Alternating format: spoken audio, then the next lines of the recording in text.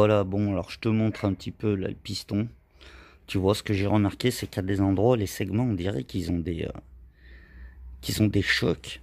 On dirait qu'ils ont des plats, tu vois. En général, euh, souvent au niveau des coins. Je sais pas le focus, il va pas le faire correctement, si...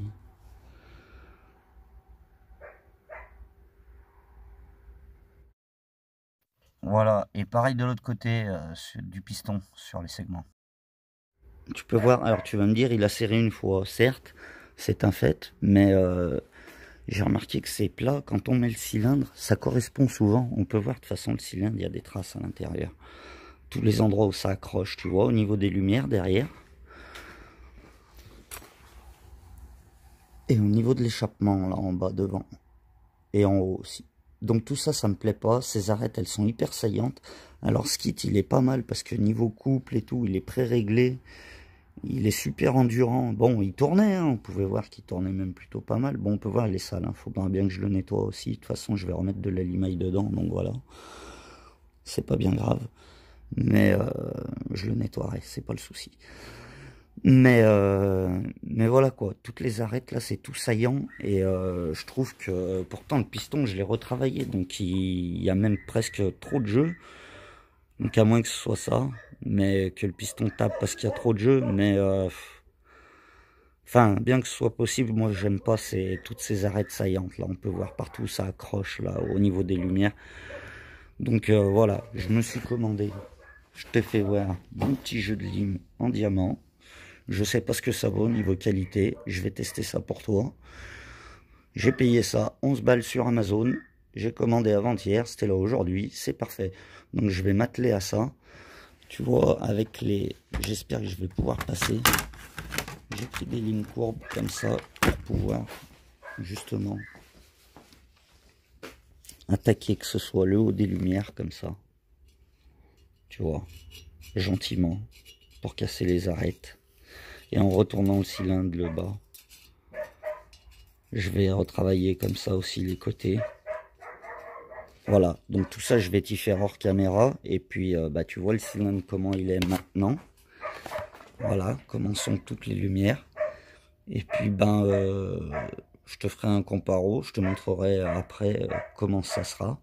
Et puis on verra lors des essais ce qu'il en est, si ça refrotte ou pas, si ça rattaque le piston. Sinon, au pire, bah, je changerai le piston, tant pis. Voilà, allez. Bon, bah, Mister Morito, hein, si jamais tu as encore des soucis avec ton cylindre et que tu sais pas d'où ça vient, moi, je pense qu'il y a de grosses probabilités pour que ça frotte au niveau de l'échappement, que ce soit dans les coins comme au milieu. Les arêtes, elles sont vraiment très saillantes. Et euh, ouais, pour ça, autant le mal aussi, c'est un bon kit, autant il est vraiment fini comme... Euh, ça a l'air, hein, ça a l'air joli, c'est joli, hein, ça a l'air euh, bien, mais, euh, mais non, c'est... C'est fait pour casser, voilà. Donc euh, ouais, moi j'ai remarqué que tu vois toutes les rayures là qu'il y a sur... Bah, c'est les endroits où les pistons, où les segments ont des plats en fait. Voilà. Quand je l'ai démonté, je me suis rendu compte que c'était en face, donc, donc je vais retravailler en priorité ces endroits-là, et puis on verra après. Allez plus. Je te fais un petit check en cours de route, donc tu peux voir là où j'ai radouci, là où c'est pas le cas. Donc là, ça a été fait un petit peu. quand je passe le doigt, ça coupe plus comme avant. C'est doux au moins. Là, j'ai fait tout cela. Cela, j'ai encore pas fait. Il me reste cela. J'ai fait l'échappe. Donc on peut voir que ouais quand même c'est vachement plus doux, c'est plus aussi agressif qu'avant. Et je pense que le gros problème il est là quoi. Ces arêtes saillantes à la chauffe, ça défonce les segments, ça doit t'arracher le piston. Donc euh, voilà, j'y vais avec des toutes petites limes diamants. Donc j'y vais tout doucement avec les bouts des limes. C'est vraiment très très délicat parce qu'il faut éviter au maximum de mettre des coups dans le cylindre. Bon, c'est pas du Nicasil donc ça craint pas trop, mais bon, voilà, si je peux éviter de lui, faire, de faire des rayures supplémentaires, c'est mieux. Mais euh, bon là, si on peut voir là, ouais, ça a frotté un peu, mais bon, c'est pas bien grave. Cet endroit-là, là, on peut voir que c'est un peu caca avec la lime. Mais bon, j'ai redressé aussi les lumières, parce que là, derrière, les lumières, elles étaient pas à la même hauteur. C'était vraiment hyper saillant. Voilà, c'était comme là. Là, c'est très très saillant. Là, quand je descends, ça, ça accroche. Voilà, pareil sur les côtés. Et les autres, euh, non, les autres c'est tout doux. Ça accroche pas trop, pas du tout même. C'est tout lisse. Au moins voilà. Et je pense que après ça, au moins, bah voilà, c'est le minimum à faire pour. Donc là, pour te donner un ordre d'idée,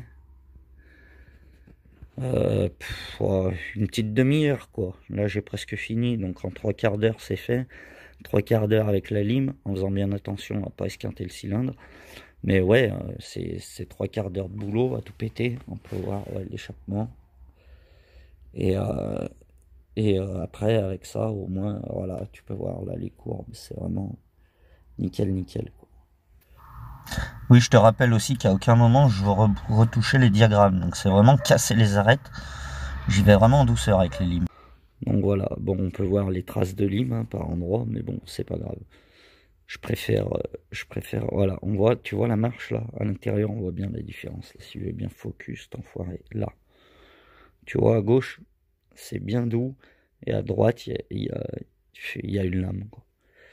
Donc euh, bah, en plus ça me permet d'enlever les petits défauts de fonderie, les petits gratons, tout ça. Voilà. Si tu veux comparer le gauche, le droite. Voilà la différence. Et quand ça c'est fait, bah après ton, le cylindre il, sera fiabilisé. Il n'y aura plus de soucis je pense après avec ça. Voilà mon gars.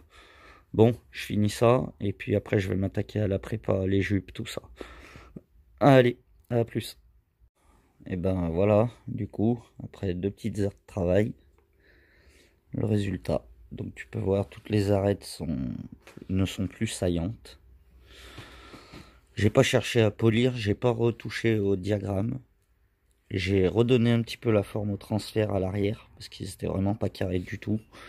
Même à l'avant, là, j'ai retaillé un petit peu l'angle parce que c'était pas carré. De ce côté, pareil. Au moins là, ils sont tous au carré. Hop, on peut voir, c'est nickel. Voilà. L'échappement, pareil, je suis en train de, de, lui redonner une bonne forme, bien comme il faut. La forme de départ, je pas je l'agrandis. Hein. J'enlève tous les petits défauts de fonderie, quoi. Je vais pas chercher non plus à le polir, je m'en fous. C'est vraiment juste histoire d'avoir un aspect propre. Et par contre, là, je vais l'ouvrir. Là, il fait 23 et mon échappement à moi il fait 25 donc euh, le tuyau la sortie je vais le passer en 25 à la perceuse avec la petite frisouille qui se trouve là voilà je vais mettre ça sur la perceuse et je vais lui ouvrir le front et puis après normalement il sera terminé. Non il va me rester à faire sur le piston côté arrière. Voilà là. Je vais faire deux petits trous là de 5 de 1,5 pardon. Des petits trous de des petits trous de pour le graissage là. Un là un là avec un petit forêt de 1,5 histoire de, bah, de faire des trous de graissage purement et simplement. En faisant gaffe que ouais non ça passe pas devant les lumières là c'est ceux là ouais où les sous les sous les picots du, du segment en fait pour être sûr de pas être en face des lumières. De toute façon, même si je suis en face des lumières, ça gêne pas. C'est euh, ça, ça va être des trous de, de graissage pour retenir l'huile et graisser le. Voilà. Donc là, après, je vais m'atteler aussi à la découpe de la jupe.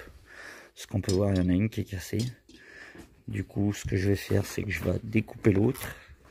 Et puis, en fait, je vais retailler aussi tout là. Du coup, je vais ouvrir là, sur les côtés. Hop, je vais redescendre là. Là, pareil, je vais redescendre. Là, pareil, je vais redescendre ici.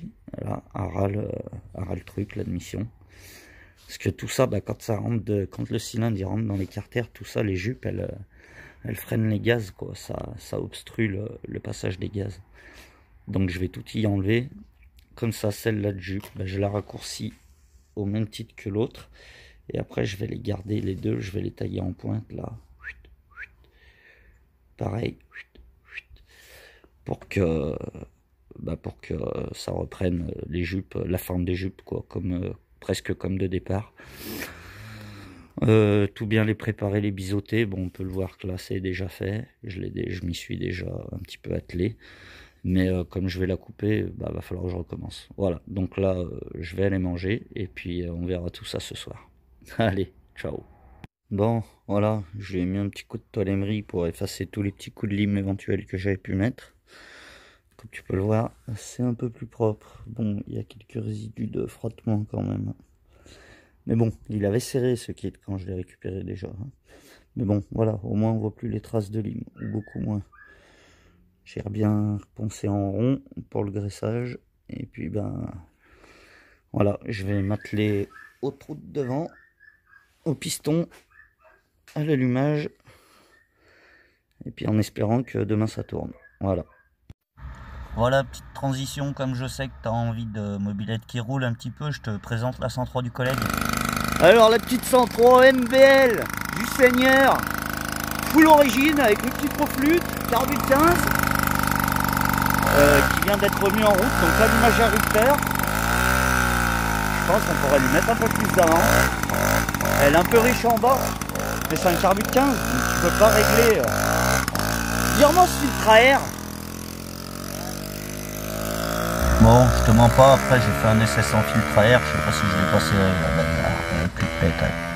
Donc euh, non mais le carbu il frottait le bras. Elle monte hein bonhomme il fait un bon 60-70 kilos quand même. Mais bon, elle a fini avec une prise d'air en faisant bleu. Ah, si tu t'arrêtes, forcément. Vu comme ça monte, mon cousin, pour redémarrer, accroche-toi. On l'entend qui arrive.